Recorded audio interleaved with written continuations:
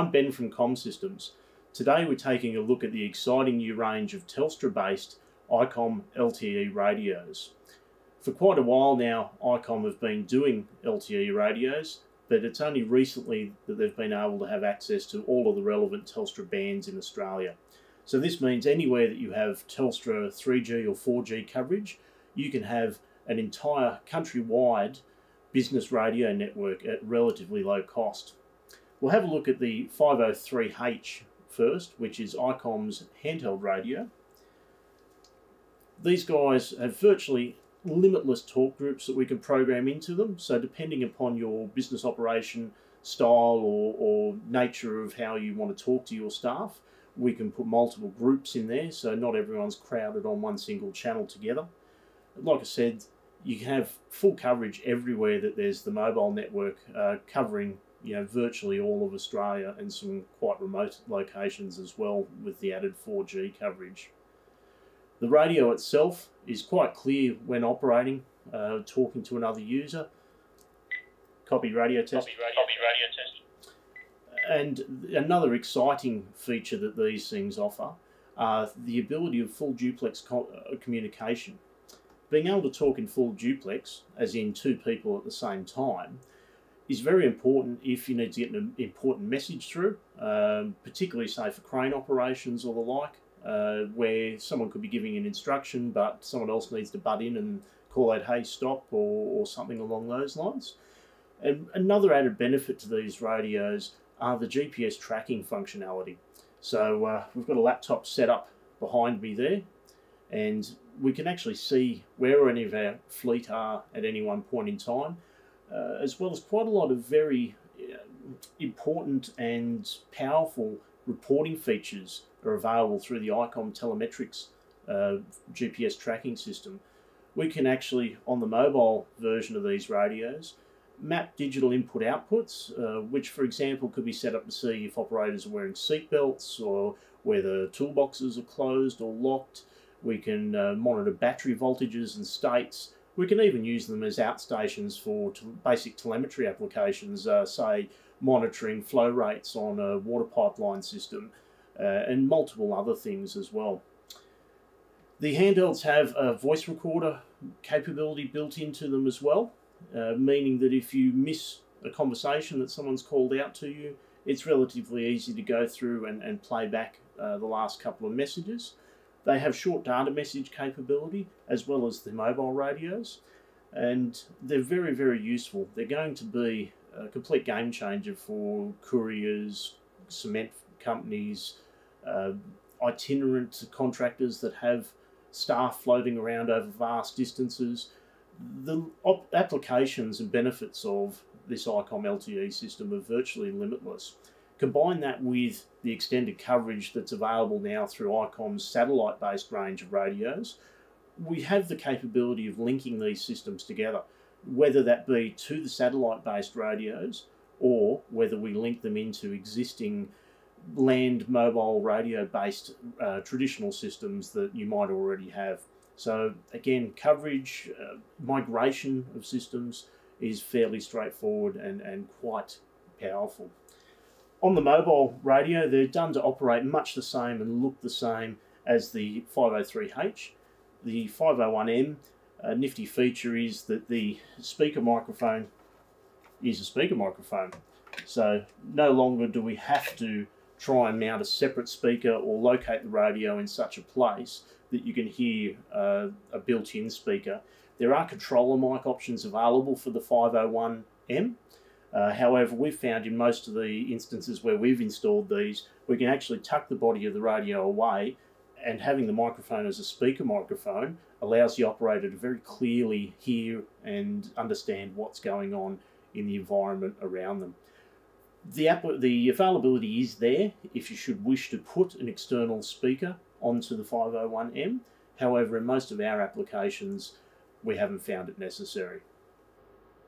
We'll now take a quick look at the GPS tracking functions of the ICOM LTE system and some of the reporting features that can be utilised and enabled within it. So we'll have a look at the ICOM GPS and telemetric system that's included with the ICOM LTE radios.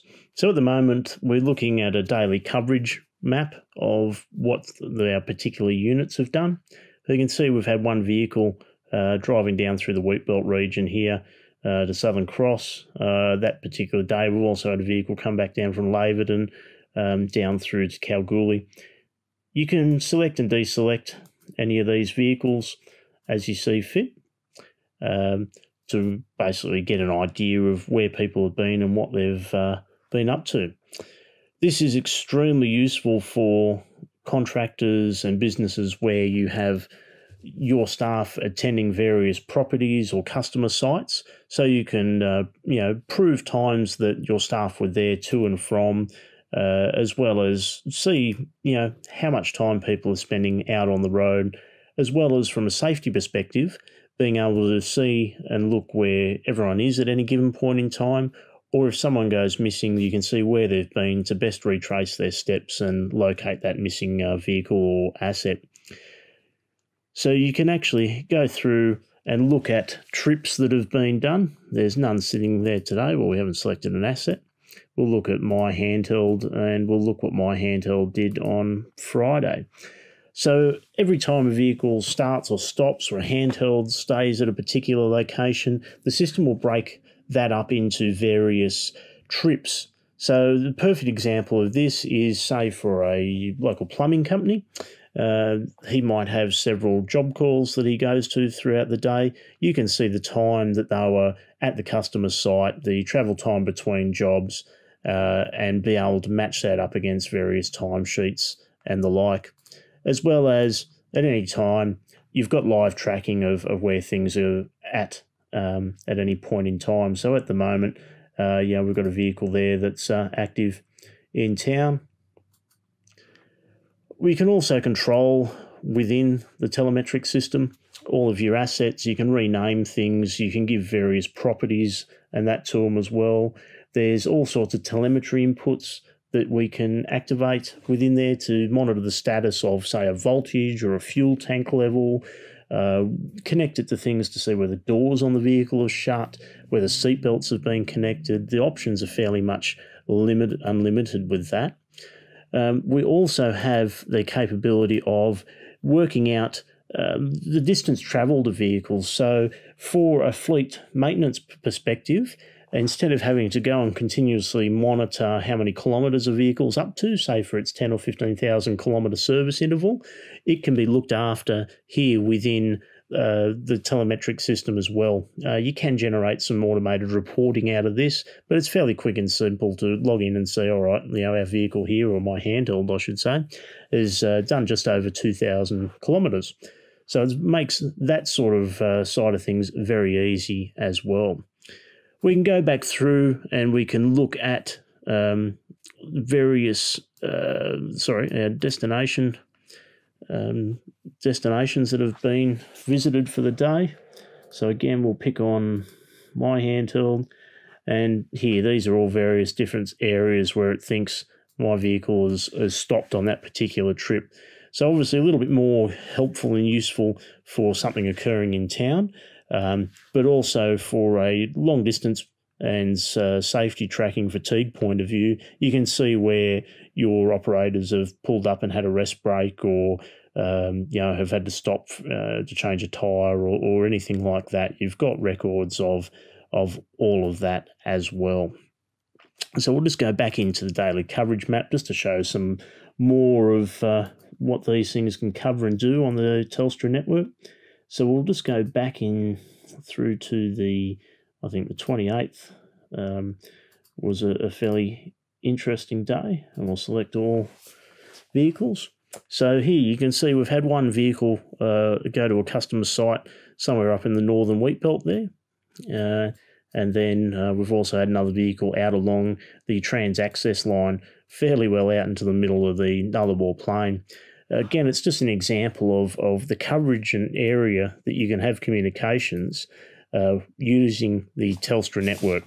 Now, that being said, the way that the ICOM LTE radio system works is it's a lot more secure than other systems that may be around there.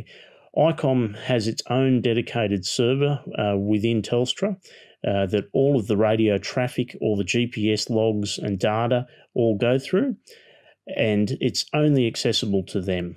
So there's very little chance, or virtually no chance, of any of your data or any of your radio communications and traffic being compromised or hacked into anyone. We'll go back and uh, look at some more features of the actual uh, 501M and 503H. So there you have it. That's just some of the GPS tracking and reporting capabilities of the ICOM LTE radio system. The cost for these units are a monthly charge. They're $30 per month per radio, but that gives you completely unlimited access and completely unlimited talk time anywhere across the Telstra network.